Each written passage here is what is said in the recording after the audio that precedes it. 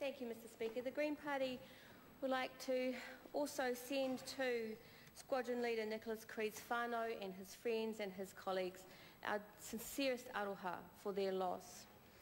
Nicholas Cree served, as we've said, in Timor and Singapore and the Solomons as part of a peacekeeping mission, I guess, and we acknowledge um, his efforts in promoting peace in the Pacific and around the world. He was just a young man, described by his friends as a bloody good guy, um, a top instructor, I'm sure, an inspiration to all of his students and those who worked with him.